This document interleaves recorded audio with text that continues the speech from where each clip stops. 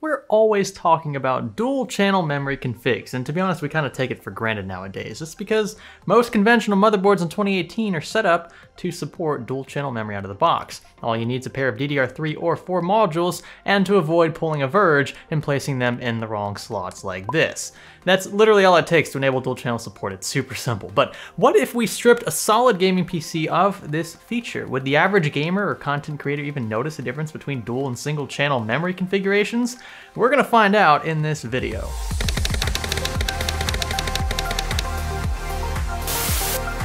CableMod's vertical PCIe kits are back in stock, meaning you'll have the opportunity to trick out your rig and swing that graphics card sideways for a unique look that's sure to impress your fellow PC gamers. The bracket itself is extremely durable and easy to assemble, the included riser cable is sturdy and reliable, and the included display cables are custom and solid. Okay, I'm running out of adjectives now. Snag one while you can on CableMod's online store via the link below. The tests we'll conduct in this video are straightforward. I've got my personal rig behind me. It's the one I use for both gaming and content creation. I'll keep two modules in here. These are G.Skill Trident Z-DIMM supporting a frequency of 3 gigahertz, which will run out for the duration of this video. For the first set of tests, we'll gather our baseline data by running everything in dual channel mode. It looks like this. This is what you'd expect most people to currently run. And then I'll slide one of the modules into an adjacent slot that breaks the dual channel memory config. In the case of this motherboard, slots A1 and B1 are optimal for dual channel, so running our second set of tests with RAM in slots A1 and A2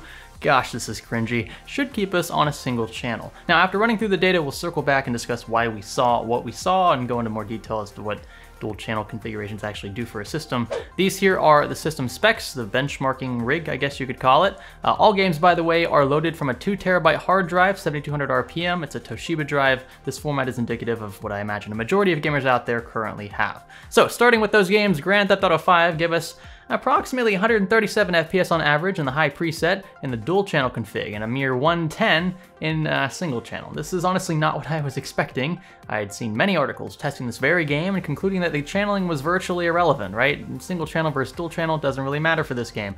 That's definitely not the case, at least from my own testing, and I ran these tests multiple times to confirm. I imagine the CPU is being forced to keep up with faster draws from the graphics card. At lower resolutions, the GPU can render frames significantly faster, shifting that bottleneck to our CPU. I created a frame time graph for this game as well so you can see the trend over time for both runs. At a few places the two perform similarly, uh, but the dual channel config renders frames significantly faster for a solid chunk of this benchmark. Up next, Ashes of the Singularity pretty much just a benchmark game at this point, proves to be even worse of a candidate for single channel memory configurations.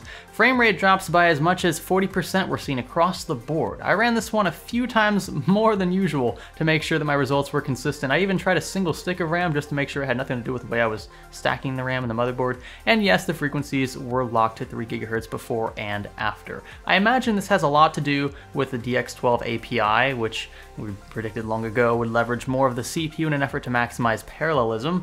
That word gets me every time, parallelism. More on DX12 in this video right here. Now, diving further into this theory, I tested Shadow of the Tomb Raider in DirectX 12 as well, and was rather relieved to see that our frame rate drop wasn't as substantial this time around. 101 versus 71, that's still pretty substantial, but not as bad as before, with a mere 8 FPS split among our lowest 0.1% of frames drawn. Assassin's Creed Odyssey was a much better story, though the frame rates across the board were still significantly lower in the very high preset. 66 versus 56 is definitely noticeable on average, and then 36 versus 31 down low. Not as bad, uh, but the percentage difference there between the frame rates is still very consistent. Lastly, F1 2017 pumped out a sweet 119 FPS. This game always performs well, especially with NVIDIA graphics cards. In the dual channel configuration, dropping by a mere 13 FPS in single channel. Similar margins were observed for the lowest 1% and 0.1% of frames drawn by the way as well. Uh, so not as bad with F1 2017, but across the board we did see a dip in frame rates, which again is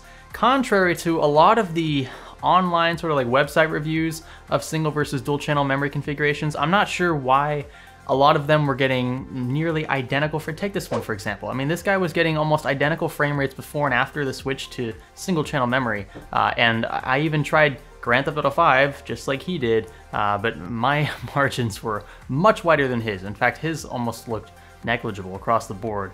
Um, so I can't speak to their results, but I can tell you I, am 100% behind these benchmarks. I trust these. I triple check them, at least triple check them. And uh, yeah, this is the state of dual versus single channel memory right now. So yeah, let's uh, let's discuss the results. The gaming benchmarks can be summarized into one big it depends. Most CPU intensive titles like Ashes of the Singularity will deviate quite a bit from a baseline dual channel config. By the way, this may vary slightly uh, on comparable AMD platforms since both companies manage memory pipelines slightly different. It, it isn't as different as it used to be, but it's still noticeable. But the gist of the story is that memory calls from the CPU are being bottlenecked, right, by a single channel. Now in some games, you won't notice much of a difference at all. F1 2017, for example, didn't seem to care. Really, I mean, at all. it's there's a there's a difference there, but it's it's not as substantial a difference as before. In fact, you'd be hard pressed to discern the two if I showed them side by side, that in-game uh, experience. So I imagine this will be the case for most gamers in most titles, but again, today's most intensive titles are clearly discriminating between the two configurations, which is why it's important to abide by motherboard manual recommendations. I thought it was very cool that the uh, Gigabyte Z390 Designare in my test rig warned me upon first boot that the RAM modules weren't seated in their optimal slots this is what it looked like. Of course, it wouldn't matter if you plan on running four DIMMs at a time, but in case you happen to miss this indicator, the splash screen upon posting is a nice feature, and uh, that's sure to save you from headaches that I'm sure The Verge ran into when they first did this although he says that he knew what he was doing, so. Remember that System RAM's purpose is to store temporary chunks of information the CPU sees fit. The benefit here is ultra low latency and, assuming you have sufficient capacity, ample storage for intensive tasks. You could, in theory, use something as slow as a hard drive or even a floppy disk to store all of this temporary information as much as you could, but it would require constant rewriting since the stuff's intended to be volatile. That's not good for those drives, and perhaps most importantly, calls from the CPU would take forever forever, relatively speaking, over something like the SATA interface. Now, all dual channel configs do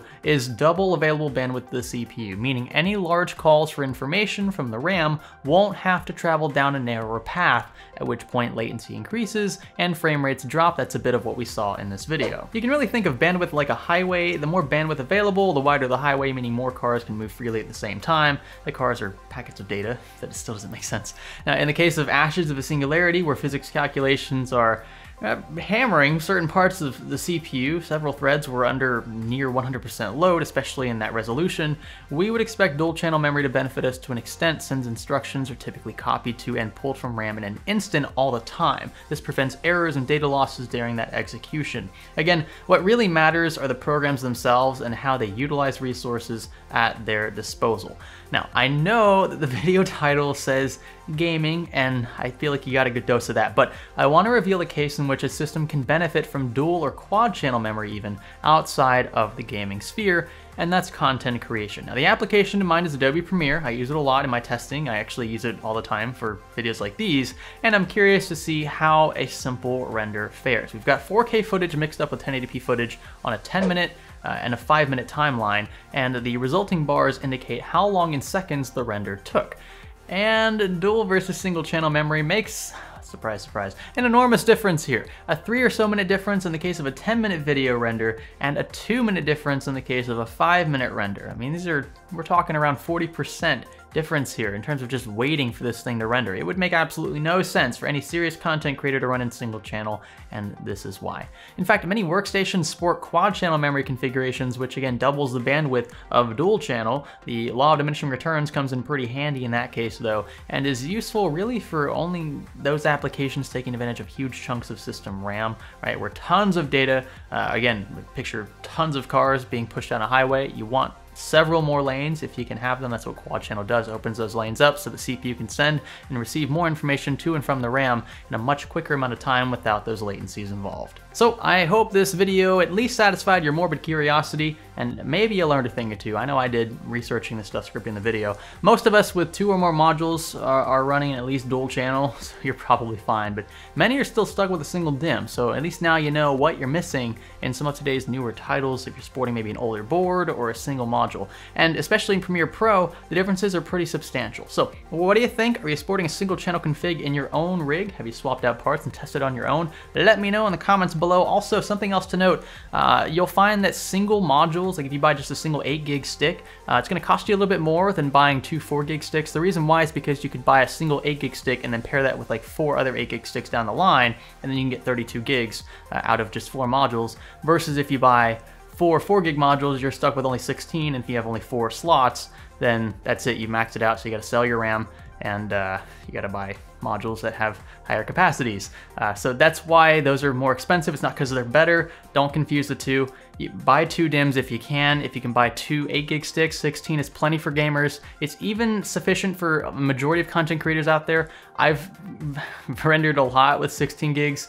Uh, even scrubbing the timeline isn't too bad, although having more is never really gonna hurt in that case. So uh, just a little bit of inside scoop there. By the way, this video here is still relevant. Uh, I know this is a couple years old at least, um, but you'll be surprised by the number of games you can get by with only 8 gigs of DDR4 or DDR3, depends on the platform. Uh, so give that one a watch if you're interested. Like this video if you thought it was cool, dislike it if you feel complete opposite. I gotta breathe. Whew.